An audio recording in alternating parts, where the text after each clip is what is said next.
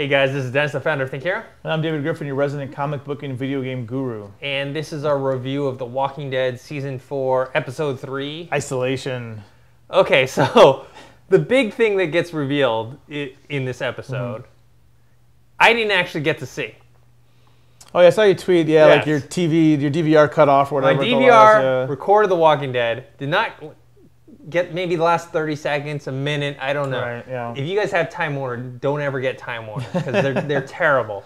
And so I didn't see it. I posted on Facebook, hey guys, Right. what happened at the end? I saw Rick talking to Carol, and then it cuts off. Well, Carol admitted uh, that people fill you in.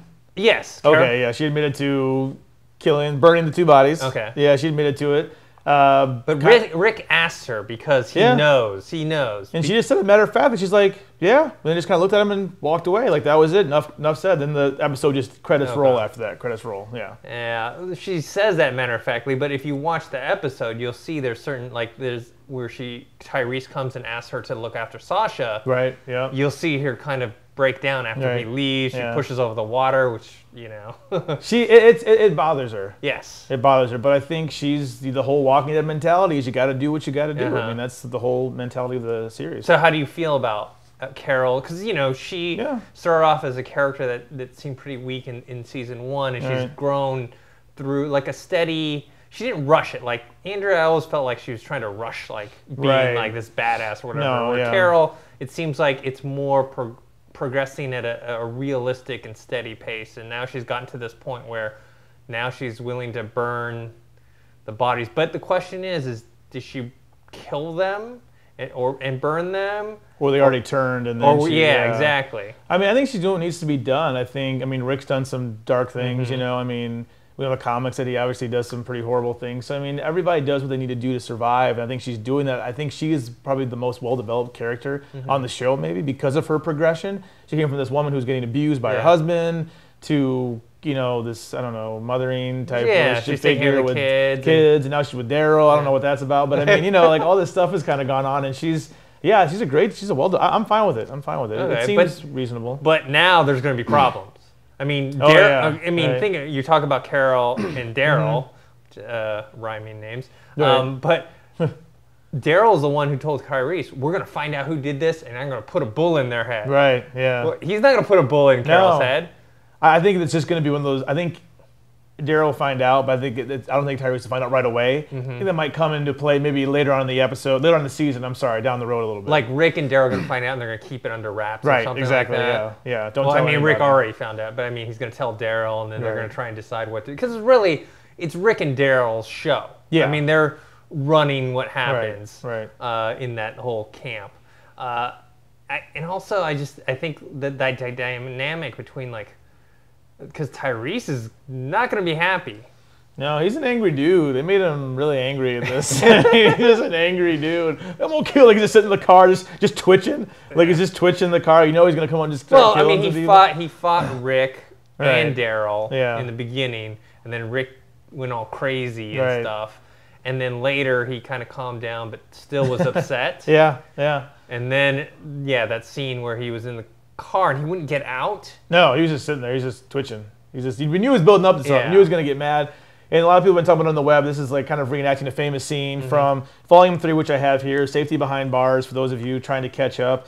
Um, this is kind of backtracking. The scene's Mm-hmm. a little bit different in the comic. The scene is when he goes into the gymnasium Mm-hmm. and he's trapped in there with like all these in the prison. He's trapped in with all these zombies. You don't think he's going to get out. And of course, it, later on, they show that he does get out. So this was kind of reenacting that scene, paying tribute to that in a little bit different way. He was out in the open, Yeah. of course, doing it this time. But yeah, I mean, he's he's a badass. I mean, I thought he was gonna to be. I thought he was gonna be a goner. I Yeah, mean, he was right. getting swarmed and swarmed, and then Daryl, Right. um, the guy from The Wire, how he's Yeah, yeah, D'Angelo. yeah, yeah, Is his name Bob? Because I heard he's like. I heard Daryl's like, and then Bob. Like and- Bob. Yeah. Okay, let's say for for for this uh, review, we call him Bob. Bob. So right, Michonne, Daryl, and Bob take off without Right, Tyrese, yeah. and I was like, all right, Tyrese is He's a goner. goner. And that's how it is kind of in, in this book too, but it's just a little bit different inside the prison instead. So he showed that he's he's a tough guy, he can handle himself. Yeah. And then we we kind of don't know what's happening with them because now they don't have their car anymore. Right, yeah. They still need to get the antibiotics. Mm-hmm. They're on the run. There's a lot of zombies around them. Yes. A lot of them.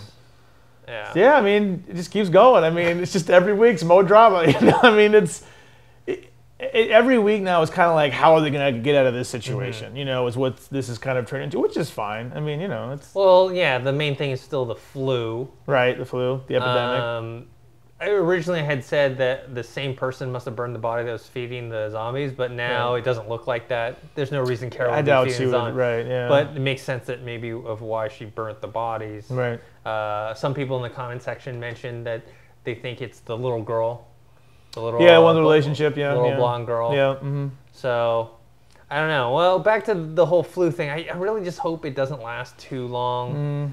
Yeah. You know, Yeah. we got Glenn Yeah. sick now. Like I'm like, no, you can't, you can't kill like the only like Asian No. guy on the show.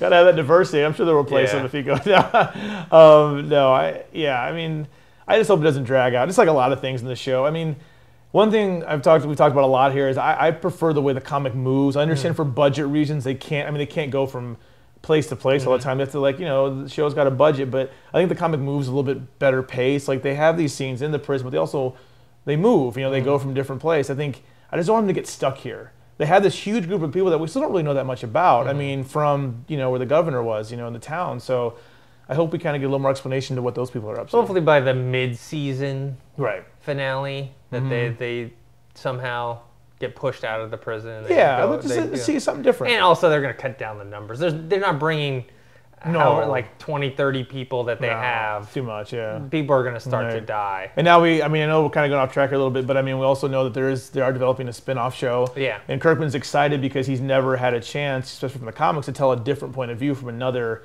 you know, area of the country. yeah, it's supposed to be West Coast. West Coast. So I mean, I'll be curious to see what that's going to be like. You know, more more Walking Dead, more zombies, more tough living. it's tough living in this world. Tough living. And then uh, Tyrese, Yeah. you know, already dealing with his girlfriend's death. Now his sister's sick. She's sick. Yeah. Uh, do you think she's a goner? I, I, I think she's going to survive. Mm-hmm. But I think Hershel's going to be a goner. Probably. Yeah. I was going to ask you what you thought about him uh, in the woods.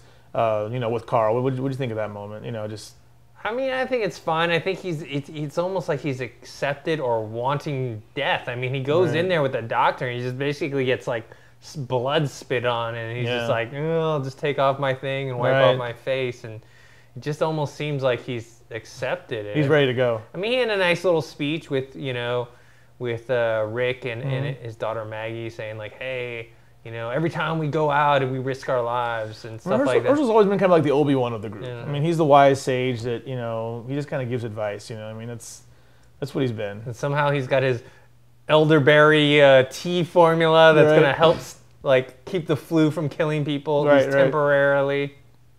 I mean, yeah, I, I don't know. I, I don't know. I I keep. It's always hard for me to talk about the show week from week because I'm not sure where the season's going. I don't know Mm-hmm. what their goal is. I mean, again, that's just something you have to have to wait and find out. So, I don't know. I, I- I want them to move past the flu thing though. Yes. I've- we need I've- an antagonist. I think that's it. Maybe that's it. There's just nothing besides the zombies, but they're always. But that's Yeah. always been the greatest thing about The Walking Dead. You know, from the comic and everything else is the zombies are more of a backdrop. Well, the zombies are more like a force of nature. Right. They're like a, a disaster, like Right. a hurricane Right. or earthquake or something. They're the thing that's Right. the danger that's present, but they're not, you know, they have no motivation. They're, you know, they're Yeah. just killing people because they want to eat the flesh, but they don't, they don't like, oh, we we don't like those people or let's take what they have. It's Right. they just, they're just doing what they're supposed to be doing. And last season we had the governor who did a good job, but I think since that show is never really resolved, mm-hmm. I think everything from season three, end of season three, is still hanging on this Yeah. season, and it needs to somehow find a way to move past that. I'm not sure how. Well, they need to bring the governor back. They Right. need a, a short storyline with him. Yeah, don't then- drag that and out, then yeah. kill him off. right? Yeah, exactly. because that's because that's what thought we, we thought was going to happen at the end of season three, Yeah. but that's not. Everybody wanted this big epic season finale, and it just it just didn't deliver. So Yeah. yeah, they need to they need to resolve that. What do you think about Carl tagging along with Hershel in the woods? He still seems a little uh, gun happy, a little trigger happy. He wants to Yeah, always, always shoot stuff.